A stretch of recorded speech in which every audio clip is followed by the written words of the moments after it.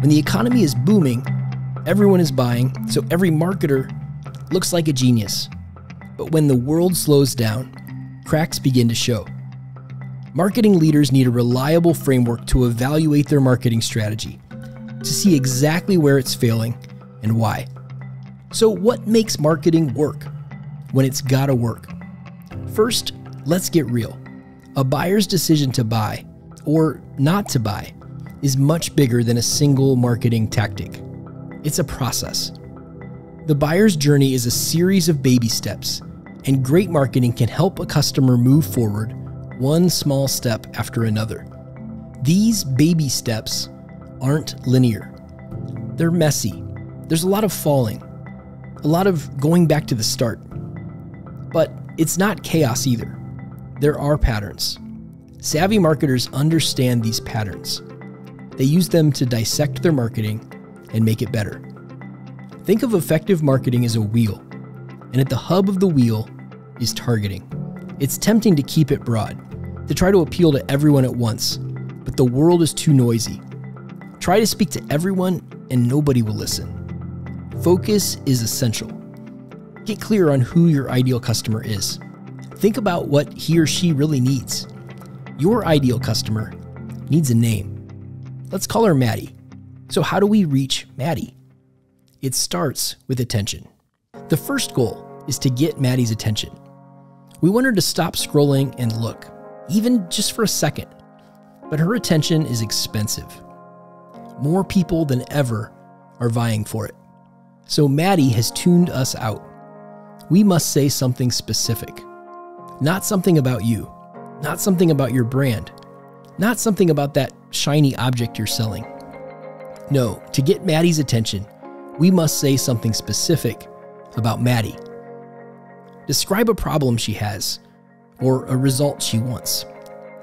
Your goal right now, your only goal is to get Maddie's attention. If you can't get it, go back a step and rethink targeting. If you have it, you're ready for the next step. The next step is to draw her in. Engagement often starts with a click to watch or listen or read or view. It continues when we say something that resonates with her. Tell a story she can identify with. Empathize with her problems. Show her what success can look like. Remind her of what's at stake. Ever so carefully introduce yourself as a trustworthy guide. You are a guide with a plan, a plan that can help Maddie.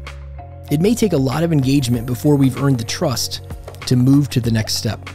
The savvy marketer obsesses about how to bridge the gap between what gets her attention and what will keep her attention. Get this right, and Maddie will be ready for the next step. So, what is the next step? That's the question.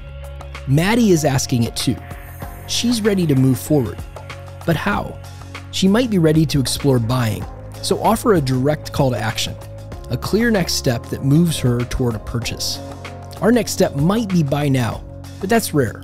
More often, it's something that allows Maddie to say, I'm interested. Tell me more. There's room for one more next step a transitional call to action.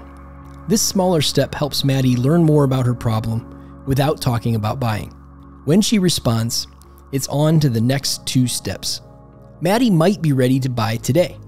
You might break your solutions into smaller baby steps too, so she can buy without a lot of commitment.